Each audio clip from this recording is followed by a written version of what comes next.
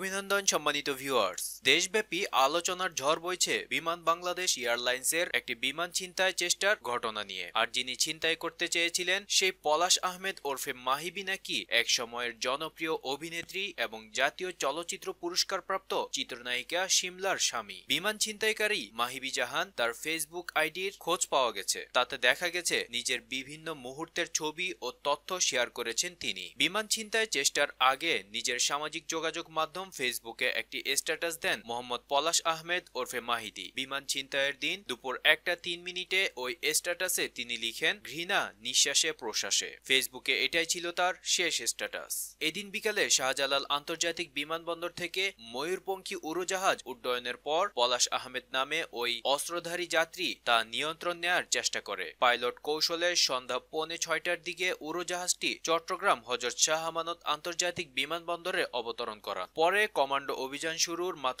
আট মিনিটের মধ্যে সন্ধ্যা সাতটা চব্বিশ মিনিটে উড়োজাহাজটি জিম্মি দশা থেকে মুক্ত হয়। নিহত হন বিমান ছিনতাইয়ের চেষ্টাকারী অস্ত্রধারী যুবক পলাশ। জানা যায়, বিমান ছিনতাইয়ের চেষ্টাকারী পলাশের বাড়ি নারায়ণগঞ্জের সোনারগাঁও উপজেলার মঙ্গলের গাঁও এলাকায়। সে মঙ্গলের গাঁওয়ের দুধঘাটা পিয়ার জাহানের ছেলে। পিয়ার জাহান বলেন, ছেলে পলাশ মাহমুদ তাহেরপুর ইসলামিয়া আলিম মাদ্রাসা থেকে দুই হাজার বারো সালে দাখিল পরীক্ষা পাশ করেন। দাখিল পাশ করে সে সোনারগাঁও ডিগ্রি কলেজে ভর্তি হয়। সেখানে পড়াশোনা করা অবস্থায় সে ঢাকায় চলে যায়। তারপর থেকে তার আচরণের পরিবর্তন দেখা দেয়। এক পর্যায়ে জানা যায়, পলাশ নাকি ঢাকায় চলচ্চিত্রে কাজ করার চেষ্টা করছে। তখন বাড়ির সঙ্গে তার যোগাযোগ ছিল না। মাঝে মাঝে বাড়িতে এলেও এলাকার মানুষের সঙ্গে মিশত না, কথা বলতো না। তিনি বলেন, দুই হাজার আঠারো সালের ফেব্রুয়ারির দিকে শিমলা নামে এক মেয়েকে রাতের বেলা বাড়িতে নিয়ে এসে হাজির হন। মেয়েটিকে চিত্রনায়িকা ও তার প্রেমিকা বলে আমাদের সঙ্গে পরিচয় করিয়ে দেন। দুই মাস পর আবার শিমলাকে বাড়িতে নিয়ে এসে বিবাহিত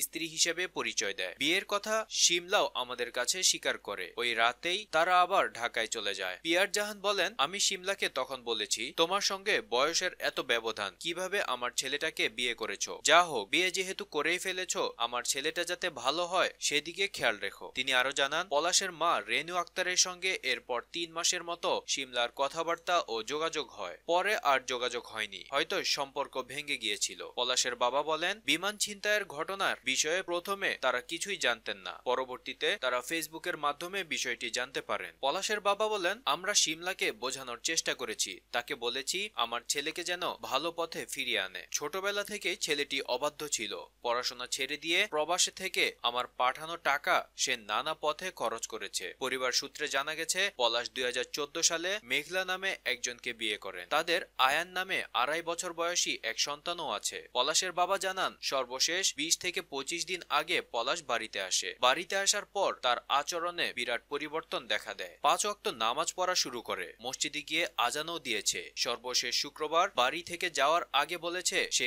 কাজের সন্ধানে দুবাই যাবে। এর পরেই ঘটল বিমান ছিনতাইয়ের মতো এমন ঘটনা। ধন্যবাদ সম্মানিত ভিউয়ার্স প্রতিবেদনটি শুনতে সাথে থাকার জন্য।